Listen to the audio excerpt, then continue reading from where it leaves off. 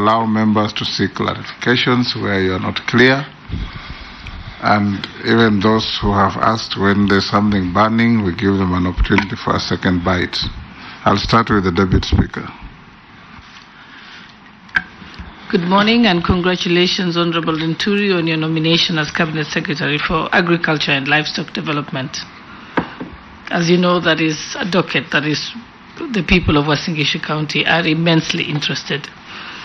Um, as you know, agriculture is the largest sector of the Kenyan economy and the first pillar of the Kenya Kwanza manifesto. I'm sure you also know that agriculture has the highest employment multiplier effect.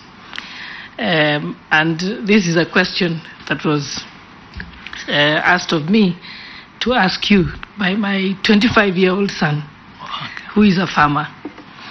He says the average age of the farmers in Kenya is 65, yet the highest unemployed people are the young people. So the question is, what are your plans to ensure that farming becomes profitable and that the farmers are assured of predict- predictable income so that you can capture these young people who are unemployed? The other question is how do you plan to assist the creation of jobs within the agriculture sector to address the high level of unemployment in the country which afflicts the youth? Thank you. The Honorable Majority Leader Ichungwa. Thank you, Honorable Speaker. For the record, uh, my name is Kimani Ichungwa, MP Kikuyu. Honorable Linturi, as uh, the Deputy Speaker has indicated, uh, and I'm sure you're aware that agriculture forms the, one of the core pillars, is actually the first pillar in the Kenya Kwanza Manifesto. And you're aware, uh, I'm sure you know that it is one of the sectors that has the highest employment multiplier effect, and uh, probably that's why the Honorable Shollei is asking what plans you have to ensure that agriculture becomes profitable and creates jobs for millions of Kenyans who have no jobs.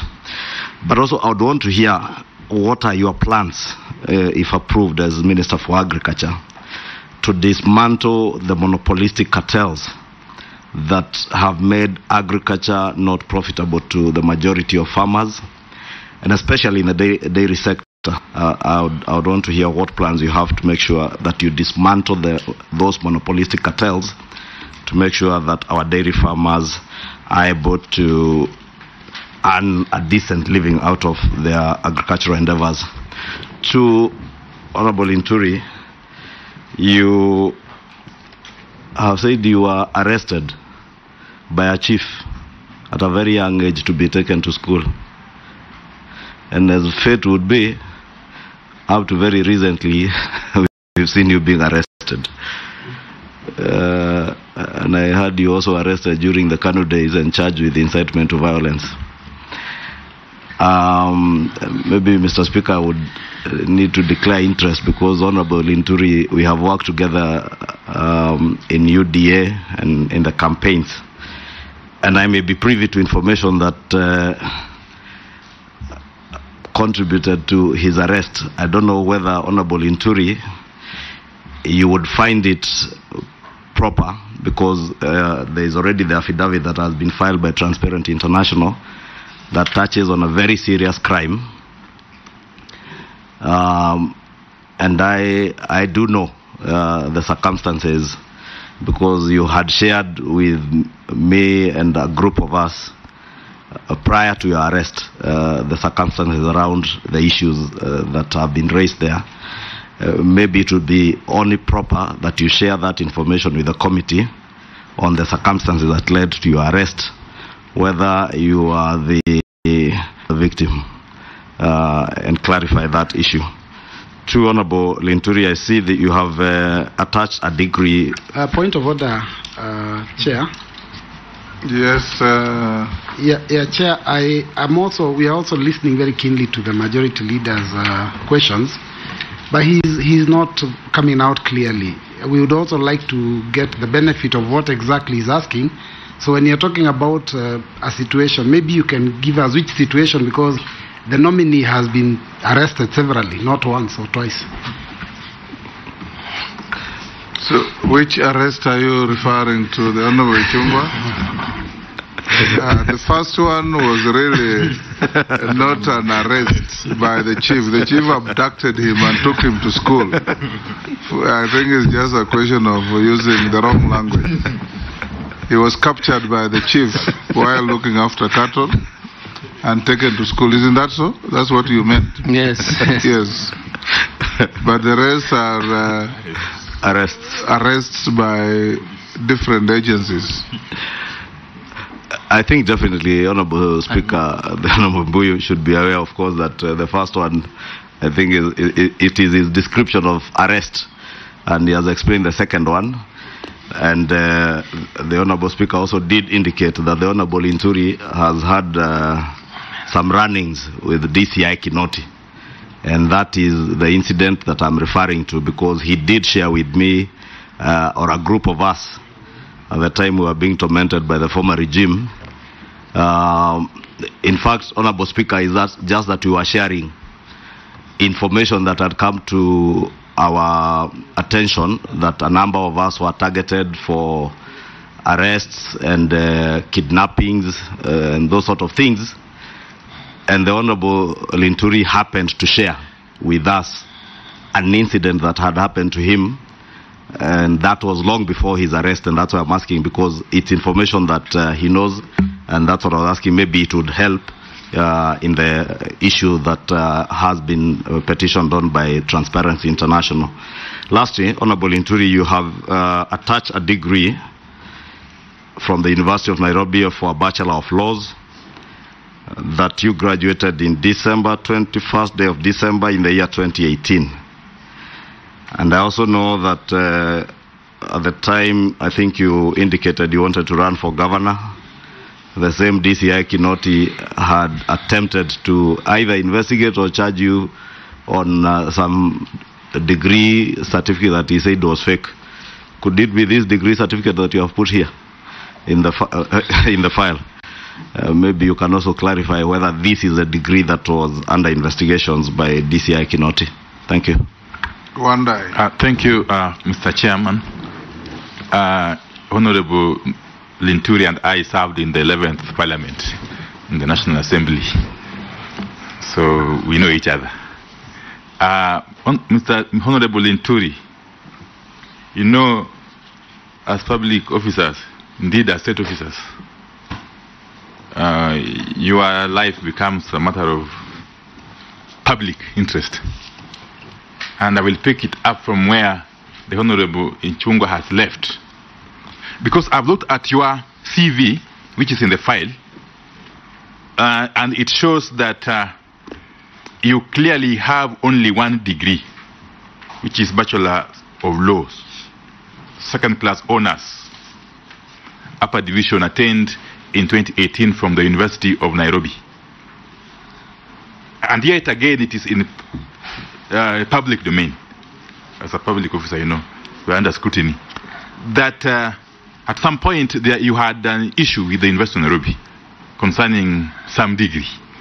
Indeed, the university went ahead to, I think, uh, deregister you or stri- strike your name out of the roll of graduates on account of some forgeries or alleged forgeries. In fact, the matter was taken up by the EACC I don't know what became of the uh, of the investigations. So just to be to be clear, that this this can be rested once and for all. Do you have do you have only one degree from the University of Nairobi, which is a bachelor's of law? Did you present some other degree to the University of Nairobi for admission to this course? Did you ever get a Bachelor of Commerce degree from the from an Indian university?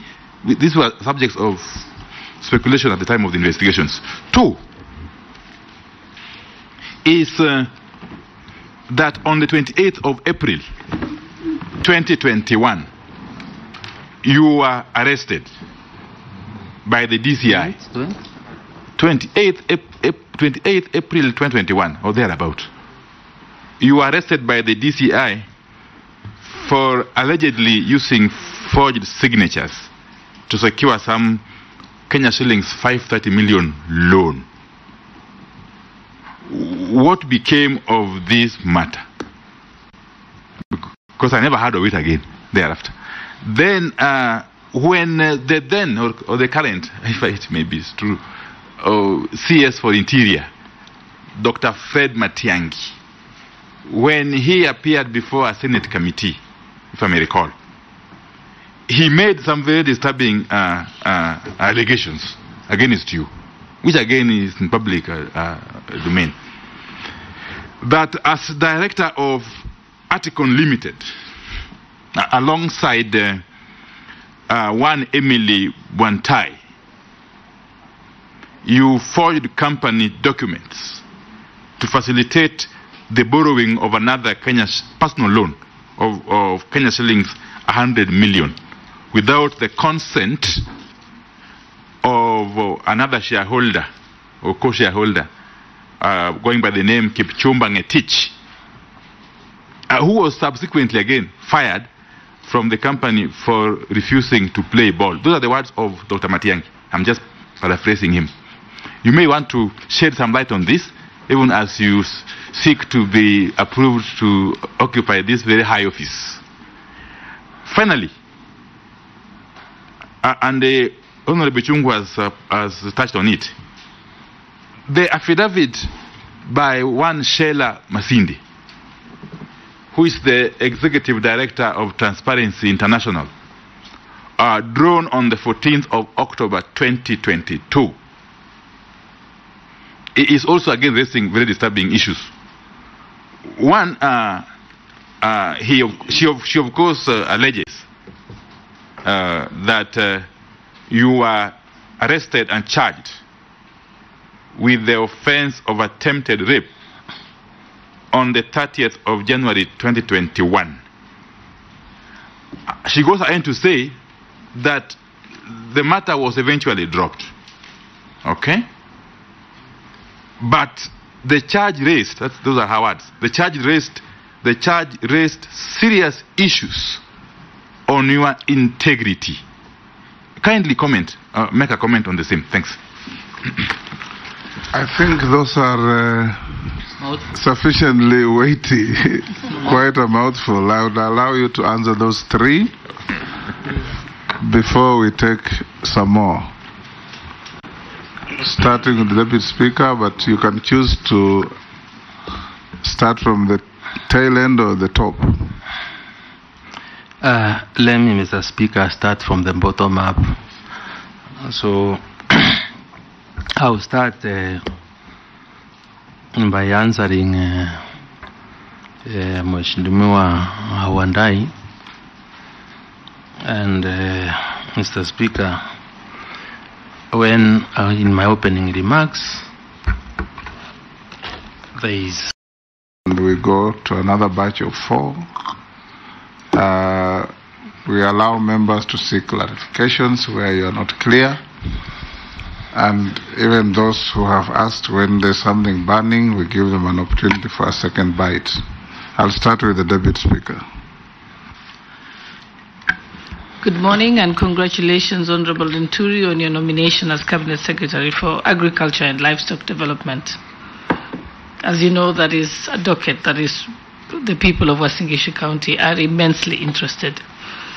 Um, as you know, agriculture is the largest sector of the Kenyan economy and the first pillar of the Kenya Kwanza manifesto. I'm sure you also know that agriculture has the highest employment multiplier effect. Um, and this is a question that was uh, asked of me to ask you by my 25 year old son who is a farmer. He says the average age of the farmers in Kenya is 65, yet the highest unemployed people are the young people. So the question is, what are your plans to ensure that farming becomes profitable and that the farmers are assured of predict predictable income so that you can capture these young people who are unemployed? The other question is how do you plan to assist the creation of jobs within the agriculture sector to address the high level of unemployment in the country which afflicts the youth? Thank you. The Honorable Majority Leader Ichungwa. Thank you, Honorable Speaker. For the record, uh, my name is Kimani Ichungwa, MP Kikuyu. Honorable Linturi, as uh, the Deputy Speaker has indicated, uh, and I'm sure you're aware that agriculture forms the, one of the core pillars, is actually the first pillar in the Kenya Kwanza Manifesto. And you're aware, uh, I'm sure you know that it is one of the sectors that has the highest employment multiplier effect, and uh, probably that's why the Honorable Shollei is asking what plans you have to ensure that agriculture becomes profitable and creates jobs for millions of Kenyans who have no jobs. But also, I would want to hear what are your plans, uh, if approved as Minister for Agriculture, to dismantle the monopolistic cartels that have made agriculture not profitable to the majority of farmers, and especially in the dairy, sector. Uh, I, would, I would want to hear what plans you have to make sure that you dismantle the, those monopolistic cartels to make sure that our dairy farmers are able to earn a decent living out of their agricultural endeavors. To Honorable Inturi, you have said you were arrested by a chief at a very young age to be taken to school. And as fate would be, up to very recently, we've seen you being arrested. Uh, and I heard you also arrested during the Kano days and charged with incitement to violence. Um, maybe Mr. Speaker would need to declare interest because Honorable Linturi, we have worked together um, in UDA and in the campaigns. And I may be privy to information that uh, contributed to his arrest. I don't know whether Honorable Linturi, you would find it proper because uh, there is already the affidavit that has been filed by Transparency International that touches on a very serious crime. Um, and I, I do know uh, the circumstances because you had shared with me and a group of us uh, prior to your arrest uh, the circumstances around the issues uh, that have been raised there. Uh, maybe it would be only proper that you share that information with the committee on the circumstances that led to your arrest, whether you are the villain or the victim, uh, and clarify that issue. To Honorable Linturi, I see that you have uh, attached a degree. Uh, point of order, uh, Chair. Yes, uh, Yeah, yeah, Chair. I am also. We are also listening very keenly to the majority leader's uh, questions, but he's he's not coming out clearly.